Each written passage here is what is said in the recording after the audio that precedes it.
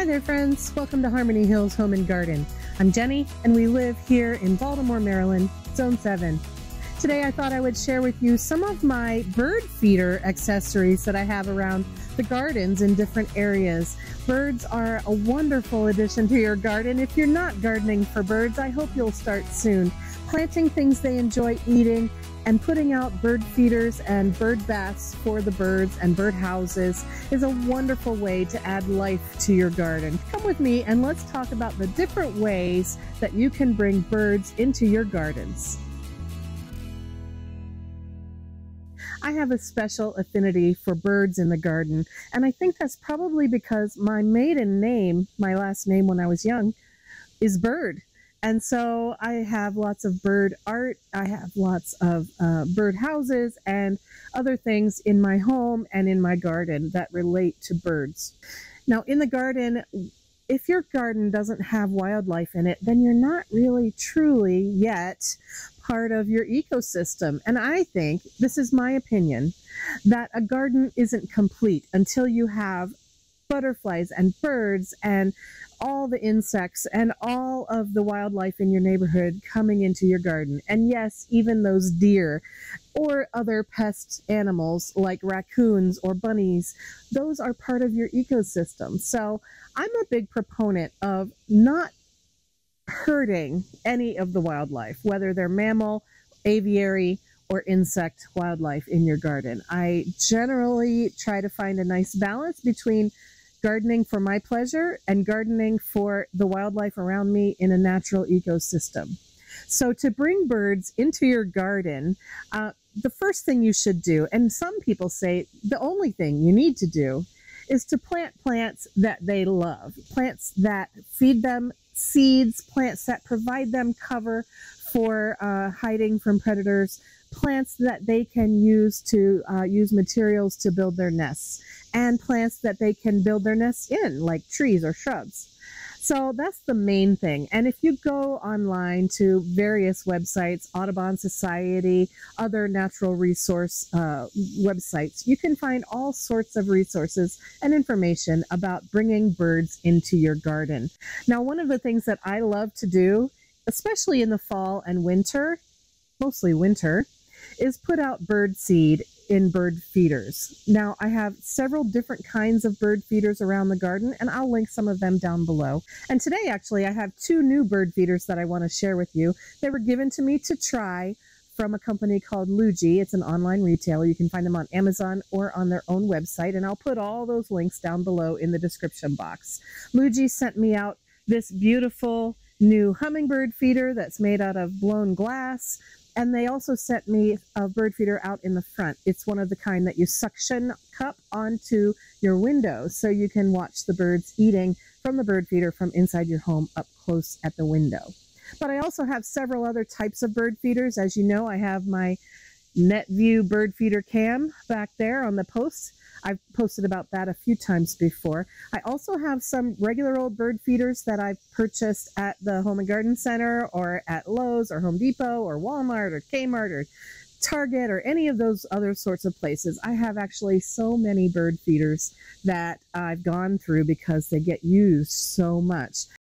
I've almost always had a bird feeder out here in front of our sunroom windows.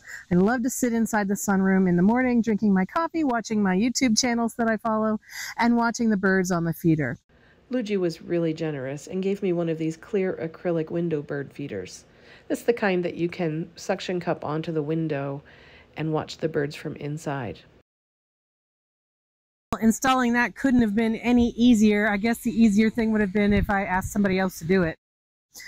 This time of year, we don't have birds on the feeder, so um, I am unable to give you any footage of birds on my window suction cup feeder that I got from LUJII.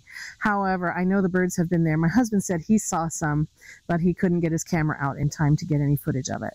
Um, as far as this brown bird feeder goes here, this is so old and I continue to use it, but the deer are what eat the, um, the seed out of there. And if the deer don't get it overnight, then the squirrels get it.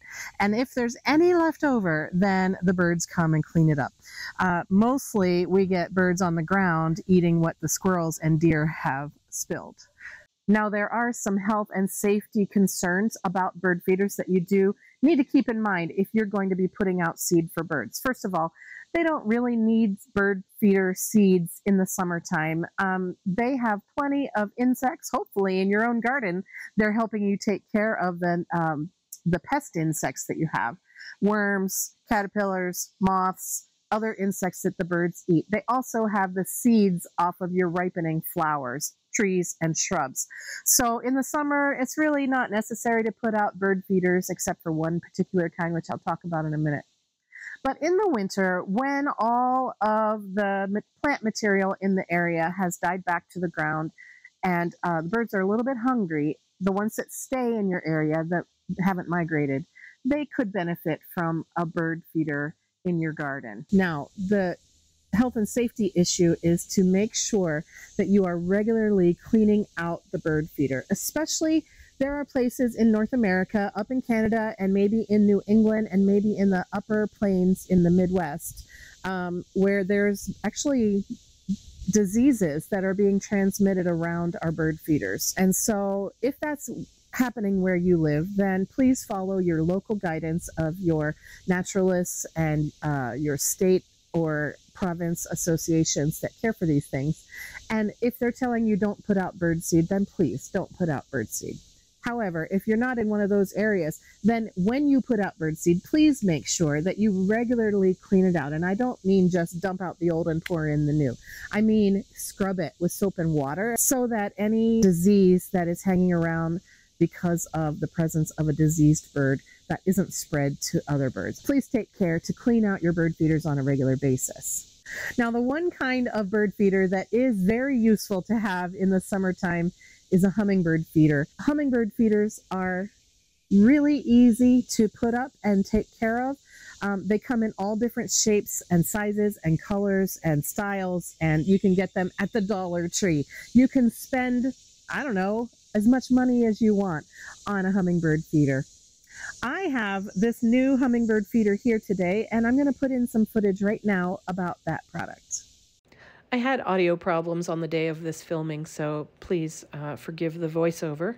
But I was really pleased with the beautiful color of this bird feeder. It's kind of a teal glass with yellow and white spots and streaks in it in the shape of an ice cream cone swirl. Now the feeder saucer at the bottom is made out of metal. I really appreciate that because it makes it so much easier to clean. It has five little flowers made out of metal that the birds can come and suck the nectar out of the bottom tray. It's super easy to fill up. You just put the nectar into the glass and then screw the feeder plate on and then do a quick flip, turn it upside, well, right side up really, and you're ready to hang it. Now it comes with an ant moat also. So what you do is you use that double hook to hang the bird feeder with its nectar in it. And then you fill that cup up with water. And then the ants who try to climb down the hook toward the feeder can't get past the water. So that keeps your hummingbird feeder ant free. After I filled it with hummingbird nectar, it wasn't long before I was able to capture some really beautiful videos of hummingbirds visiting the feeder.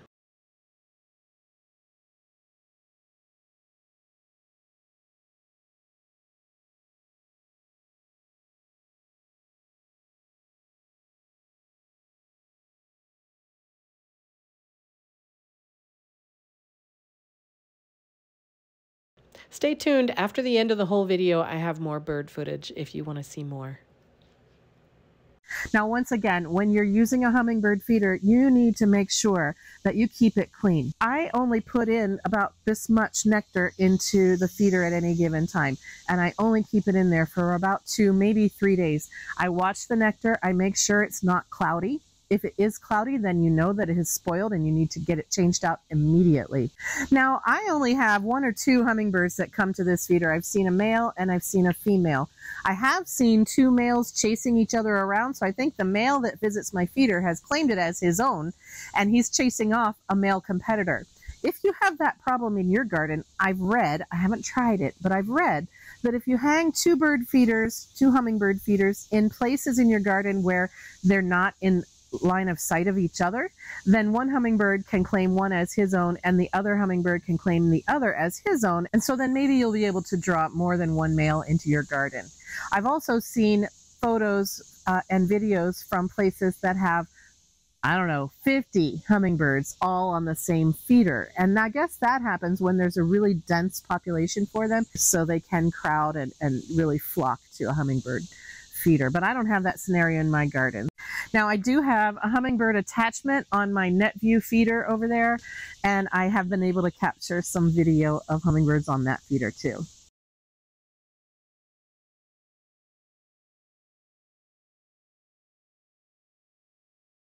So that's really a lot of fun for me. I've really been enjoying that. Now, let's talk a little bit about bird houses. I am not an expert on bird houses. I know a little bit, but uh, I can just tell you what my experience has been. This birdhouse is a beautiful one that I was given for Christmas from my uh, son, daughter-in-law, and grandkids. My grandson picked it out for me, I'm told. I love it. It's so pretty. And I have it hanging here on this walnut tree. I uh, put it up in March or April this year, and then we did get a family of wrens making a nest in this birdhouse. I really enjoyed watching them as they were coming in and out to and fro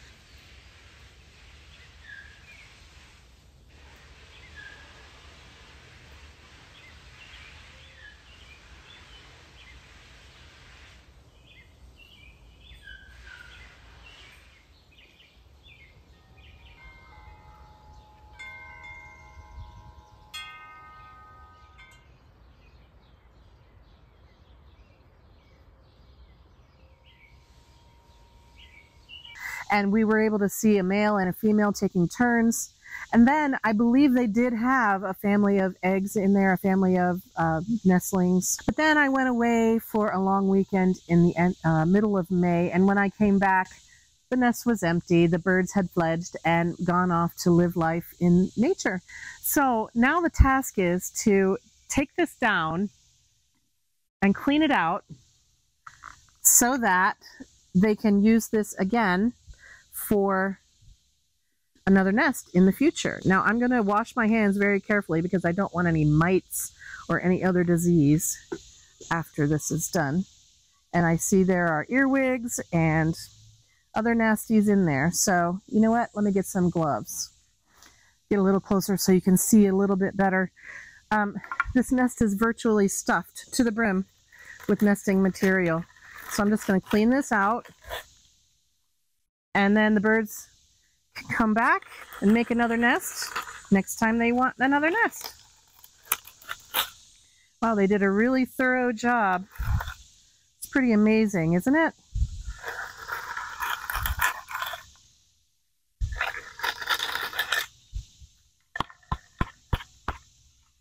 This is chock full of earwigs. Nice. Not nice. I really don't like earwigs. Get out of there, you. How am I going to get these out?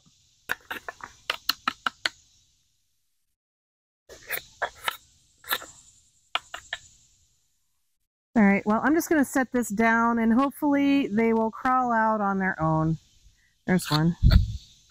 All right, so that's my plan for this. Just going to set that down on the ground with the back of it open on the ground. So hopefully the earwigs will climb down out of it and into the soil where they belong. I do not like earwigs because they eat my hostas, they eat my vegetable plants and other plant material around my garden. However, I'm told that they also eat aphids. So it's probably why I don't have a whole lot of aphids because I have a whole lot of earwigs. Anyway, so if you're maintaining bird houses, then you need to definitely clean them out and um, get rid of any nesting material from one nesting season and then leave it clean and empty. And then the next time the nesting season comes around, you can make sure, you can be sure that your birds have a nice clean cavity in which to build their nest. Um, there's some more nesting sites in my garden I want to show you. Earlier this summer, I think I showed you already, I have a robin's nest right up here in my clematis on this arbor. It's empty right now, but earlier in the season, this nest had beautiful robin eggs in it, and it was just so lovely. I did not keep track of them, so I didn't watch them hatch and fledge. But just knowing that the the birds are finding places in my garden, and I know there are many other bird nests in my garden as well. Just knowing that they're here just makes my heart happy to know that they're finding homes in our gardens. I don't know if you guys can see, but there's a cardinal in this shrub right now, flitting around inside there. And I believe that's the cardinal guy. Oh, here he is over here now. I believe that's the cardinal, the male cardinal that was making a nest in our um, front holly shrubs. We've had two or three different kinds of birds making nests in these shrubs right here, which I love because they flit about and I can watch them from inside the sunroom. In addition to being beautiful garden art, I love this dovecote birdhouse that we have here. It has a copper roof and it's painted white. We got this at the farmer's market in Raleigh, North Carolina, and it has eight cavities in it. The roof comes off so that you can clean out the inside, and it is just so beautiful. I love having this in our garden. Again, we put it on this post right here on the south side hill so that we can sit in our sunroom in the mornings and watch the birds coming in and out. And I tell you what, it is so lovely to see how many bird families we do get making nests inside that lovely birdhouse. It's my husband's job to clean out this bird feeder because it requires the use of a ladder, and that's not really something I love to do. So he gets out there, usually sometime in the winter, and cleans it out cleans out all eight cavities, takes off the roof, and gets it all clean out inside so that in the spring the birds can come back and have a new generation of bird families in there. Another important way to invite birds into your garden is to offer them clean water on a regular basis. I have this bird bath that we've owned for, gosh, 20 or 25 years. It's made out of copper, but it's pretty much gotten uh, uh, patina on it now, so you can't really tell that it's copper. Um, and I try really hard to clean this water out every morning um, because the birds use it. I've seen them on there so many times. They really do come in here and bathe, get the dust off of themselves. They drink from this. And um, I've seen lots of flying insects also sitting right here on the edge and drinking in there. So I know this is serving my wildlife population very happily. And so I keep it clean and change the water out every morning and um, this is a really important part of bringing wildlife into my garden. I think I'm going to be adding more bird baths to the garden over time, but for now, this is the main one that we use. I love it. I have just a couple more things for the birds in my garden down in this area. Come on down and let's take a look. This is a sweet little dish that my uh, kid gave me for Mother's Day. It used to be painted, but it's been sitting out in the in nature, and so most of its uh, color has faded. But it's a sunflower with a little bird sitting on the edge, and I love it. And I just hang it here. Sometimes I'll put fresh water in here. Sometimes I'll put bird seed in here. Often it's just filled with debris from the overhead leaves falling down. But I think it just makes a nice little accent down here, a little snack, you might say, for birds now and again. I do have one more bird bath in the garden, and that's this little one here. It hides here under the hostas. And I'm not as good about cleaning this one out every day as I should be. So you can see right now it's actually got some leaves that fell down into it, and I need to clean it out. Uh, so let me do that real quick.